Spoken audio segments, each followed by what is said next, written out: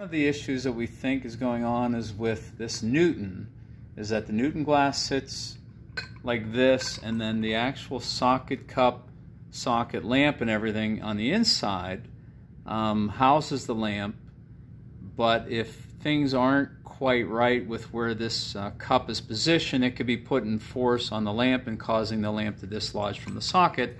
So if that's the case, the fix is to reposition the whole thing. So what we would do, you take that off and then you can take the glass off.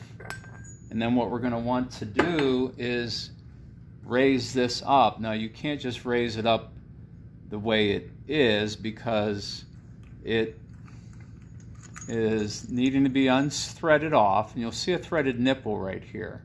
So what you want to do is just not thread this thing down. Leave a lot of threaded nipple up at the top and then just not thread it very far, maybe a few turns.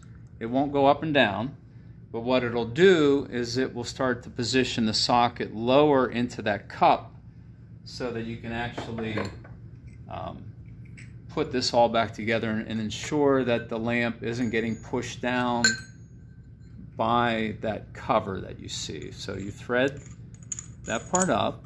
So all you did is reposition this sort of cap on that threaded nipple to give it more height in relation to the socket.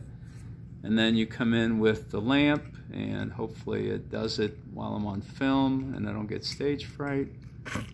There we go. So it should push in fine. Should be nice and snug and fit, good, feel good when to the fit. And then you drop that down and voila. That's it.